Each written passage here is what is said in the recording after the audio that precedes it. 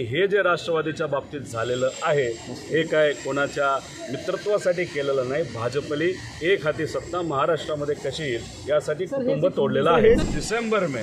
लोकसभा और महाराष्ट्र के विधानसभा का इलेक्शन हो सकता है हमने शॉर्टकट नहीं लिया इसीलिए हम हमारे बारे में बात कर सकते हैं हम दूसरे के बारे में बात नाही करू. लोकांचा विचार करून सत्ता आणण्याचा प्रयत्न हा सर्वांनी केला पाहिजे असं माझंही आणि सगळ्यांचंच मत आहे शरद पवार ही कोणाची खाजगी प्रॉपर्टी नाहीये आम्ही सुद्धा त्यांचे बॅनर आणि फोटोज लावू असं ते देखील म्हणतात आहेत. नाही नाही आता ह्याच्यात एक करेक्शन तुम्हाला करतो की तुम्ही थोडंसं अधिकाऱ्यांशी बोला की जनरली लोकसभा इलेक्शन आणि विधानसभा इलेक्शन होण्यापूर्वी पाच ते सहा महिने आधी जे सगळे ई व्ही एम असतात त्याचं चेकिंग करण्यासाठी अधिकाऱ्यांना सांगितलं जातं केंद्रातून.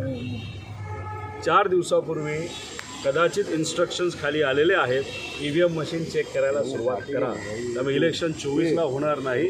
इलेक्शन हे डिसेंबरला होणार. डिसेंबरला जे लोकसभेचं इलेक्शन होणार त्याच्यावर महाराष्ट्राची विधानसभा सुद्धा होणार. आणि हे जे राष्ट्रवादीच्या बाबतीत झालेलं आहे हे काय कोणाच्या मित्रत्वासाठी केलेलं नाही? भाजपली एक हाती सत्ता महाराष्ट्रामध्ये कशी येईल? यासाठी कुटुंब तोडलेलं आहे. सर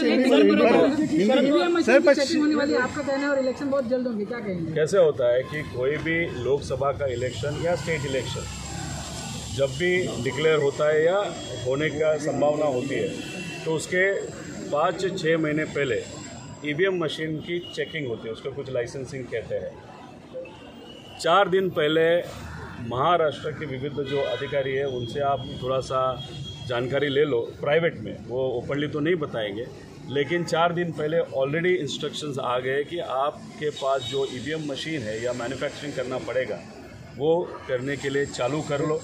तो इससे अंदाज़ा ये आता है कि लोकसभा इलेक्शन ये दिसंबर में हो सकते हैं और महाराष्ट्र का जो इलेक्शन जो अक्टूबर 2024 में, वो भी लोकसभा के साथ होगा। और इसका मुख्य कारण कर्नाटका है। कर्नाटका में भाजपा का जो हार हुआ उससे लोकसभा के जो नंबर है, वो कम हो सकते हैं। और वो अंदाज, वो अभी मध्य प्रदेश में भी है, वो अंदाज उत्तराखंड में भी है, वो अंदाज अभी हरियाणा भी है।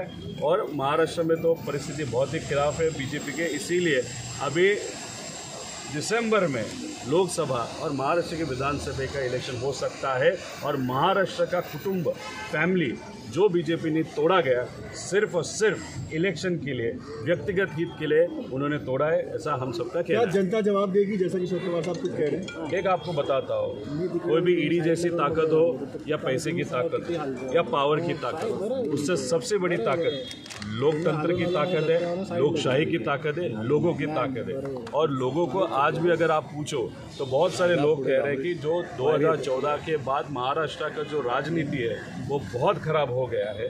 लोगों को ये मालूम है लोगों को बदल चाहिए लोगों को अच्छा विचार चाहिए। 2023 एंड में जो इलेक्शन होगा उसमें परिवर्तन होगा।